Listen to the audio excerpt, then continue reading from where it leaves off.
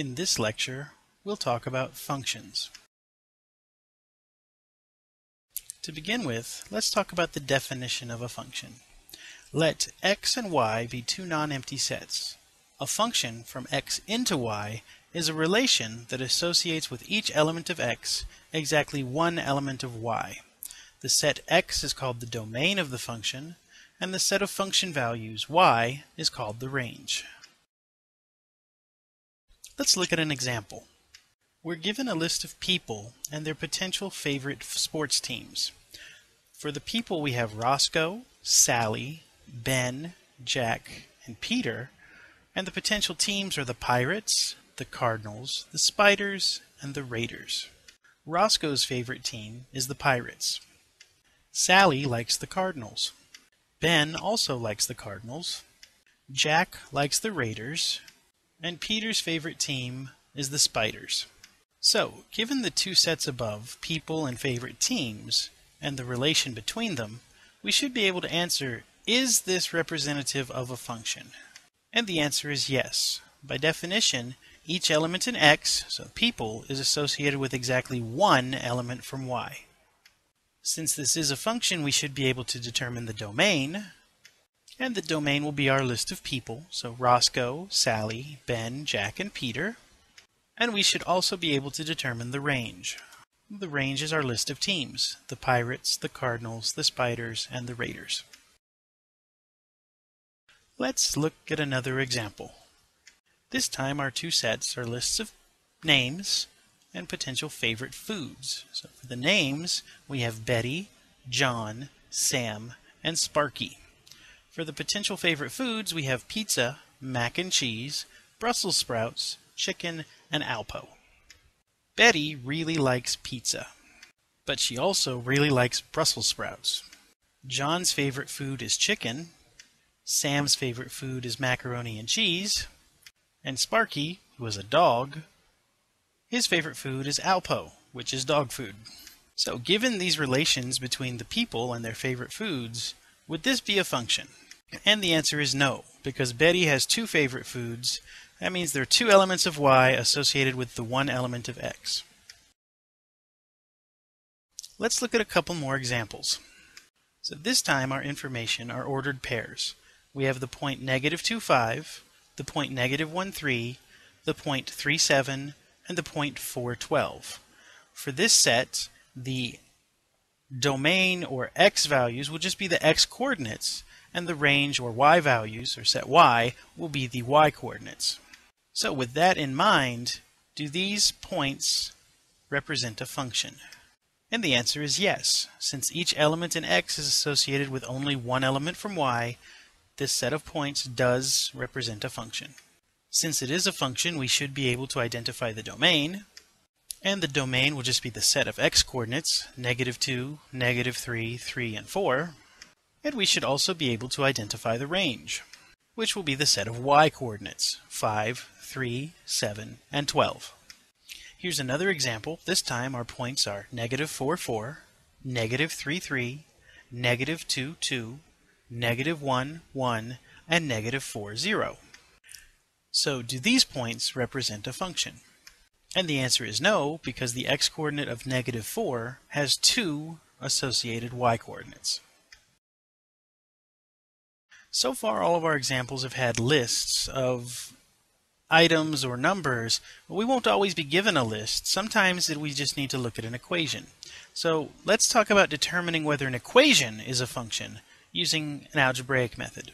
So to determine whether an equation is a function, the first thing you want to do is solve your equation for y, and then determine how many values of y are possible. If it's only one value that's possible, then it is going to be a function. But if you can have multiple values, it would not be a function. For example, y equals the absolute value of x. We've already solved for y, so we need to determine how many values of y would each x give us. And since each value of x would produce only one value for y, this is going to be a function. Here's another example. Consider the equation x plus y squared equals 1. So the first thing we want to do is solve for y. We begin by subtracting x from both sides of the equation. So we have y squared equals 1 minus x. To get rid of the square, we take the square root of both sides, and we would get y equals plus or minus the square root of 1 minus x.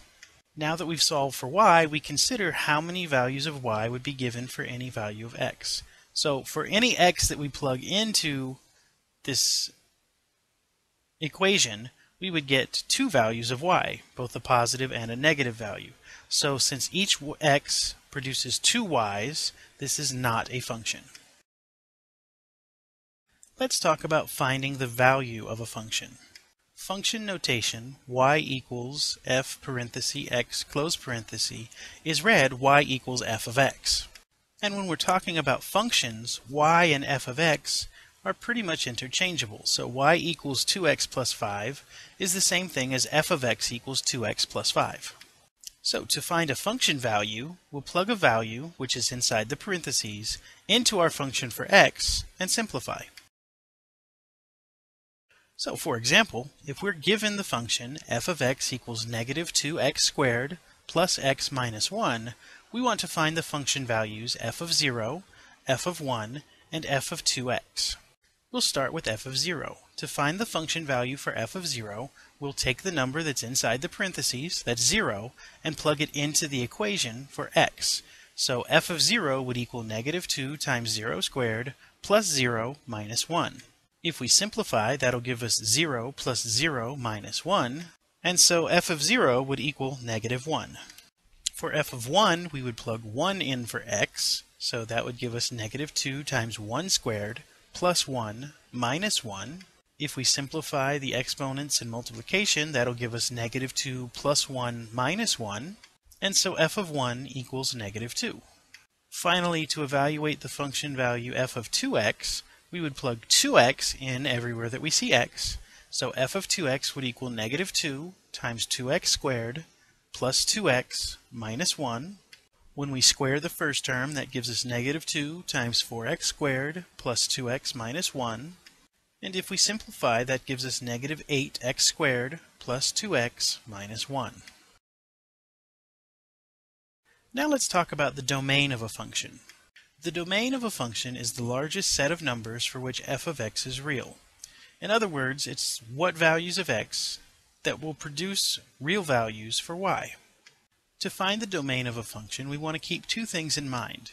You cannot have a zero in the denominator of a fraction, and you cannot have a negative number under an even radical, so the square root, the fourth root, the sixth root, etc. So as long as we avoid these two things, our domain will be all real numbers. So to find the domain, we just need to make sure that these two rules are not broken. So let's do an example. Find the domain of the function h of x equals 2x divided by x squared minus 4. So if I think about the two rules, the one that would come into play here is the fact that I cannot have 0 in the denominator of a fraction. So to find the domain of this, we note that the denominator x squared minus 4 cannot equal 0. And now we can solve this equation. We can add 4 to both sides, so x squared cannot equal 4. Then take the square root of both sides, so x cannot equal plus or minus 2. So our domain in set builder notation is the set x such that x does not equal 2 and x does not equal negative 2. Let's look at a couple more examples. First, let's find the domain for the function capital G of x equals the square root of 1 minus x. So for this function, we're worried about the second thing that cannot happen. We cannot have a negative number underneath an even radical. So to find the domain, let's set what's underneath the radical and make sure that it's greater than or equal to 0. So 1 minus x has to be greater than or equal to 0.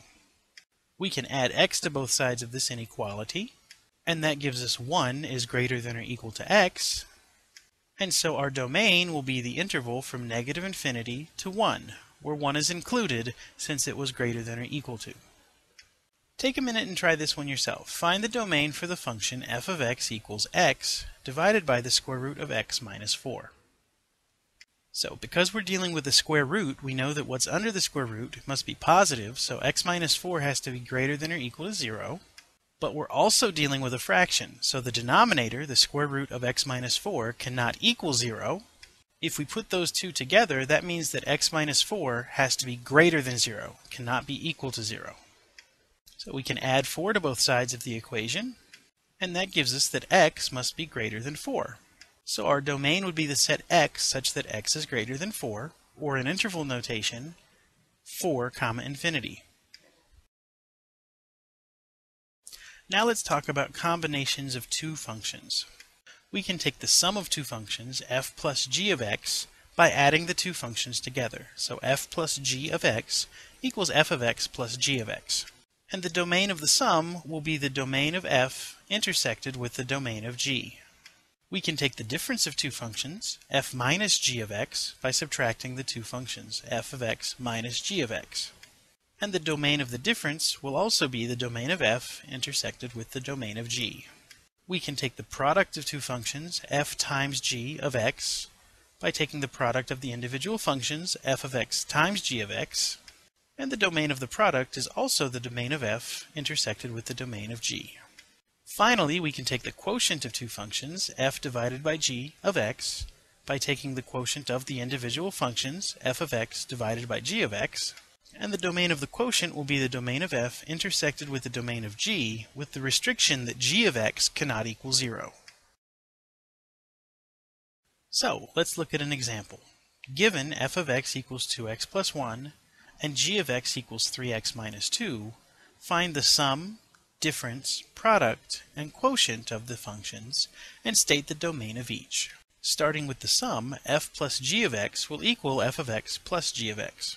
So we plug in our function values, 2x plus 1 plus 3x minus 2, and combine like terms to get 5x minus 1. And the domain of this combination will be the set of all real numbers.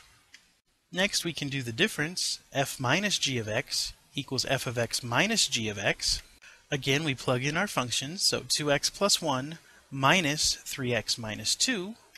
We can distribute the negative throughout the parentheses, giving us 2x plus 1 minus 3x plus 2. And if we combine like terms, that'll give us negative x plus 3. And the domain of this combination is also the set of all real numbers. When we look at the product, f times g of x equals f of x times g of x, we plug in our two functions, so 2x plus 1 times 3x minus 2. We can FOIL that out to get 6x squared minus 4x plus 3x minus 2. And if we combine like terms, that gives us 6x squared minus x minus 2. And the domain will be all real numbers. Finally, if we look at the quotient, f divided by g of x, that'll equal f of x divided by g of x, we plug in our functions to give us 2x plus 1 divided by 3x minus 2. And there's no way to simplify this, so that will be our solution. 2x plus 1 divided by 3x minus 2. And our domain will be all real numbers except for what makes the denominator 0, so that'll be the set x such that x does not equal 2 thirds.